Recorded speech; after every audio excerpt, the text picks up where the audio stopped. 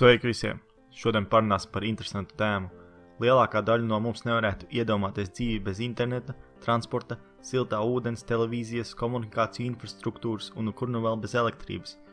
Visas šīs modernās pasaules privilēģijas ir pieejamas gandrīz ikvienam, jo pasaulē pēdējās simtgades laikā ir notikusi industriālā revolūcija.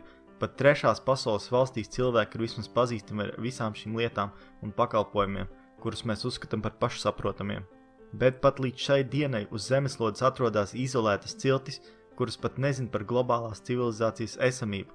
Pēc globālajiem datiem ir apmēram 100 šādas ciltis, kuras pārsvarā ir koncentrētas Dienvidamerikā, Centrālāfrikā un Jaunajā Gvinējā. Šodien es jums pastāstīšu par Sentinelīsi cilti, jo tā ir viena no populārākajām. Senti dzīvo uz mazas salas, kas nosaukta viņu vārdā.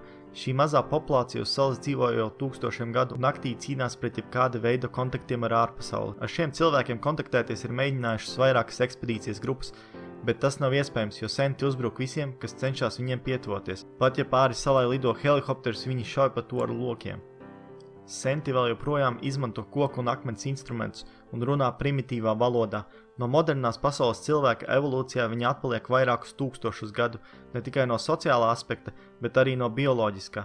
Viņu imūnsistēmas nav attīstījušās, lai cīnītos pret parastiem vīrusiem, tādas lietas kā iesnas nogalināta visu cilti pāris dienu laikā. Šī un drošības iemeslu dēļ fizisks kontakts vai pat iebraukšana salas teritorijā ir aizliegta ar likumu. 2006. gadā divi zvejnieki atradās aizliegtajā teritorijā pie salas. Viņu laivas senkurs nevarēja to noturēt vietā, un pa nakti, kamēr zvejnieki gulēja, Laiva piepeldēja pie salas. Sentu strēlnieks izskrēja no džungļiem un ar loku nošāva abus vīriešus.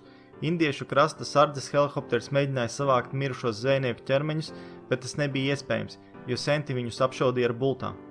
Lai cik dīvaini tas izklausītos, bet pat līdz šī dienai ir vairāk kā simts šādas ciltis, kuras ne tikai nezina, bet arī nesaprot modernās civilizācijas konceptu. Labi, cilvēki, tas arī viss šajā video. Ja jums patika, spiežiet laiku, abonējiet manu kanālu un tiksimies nākamreiz. Jā, tā!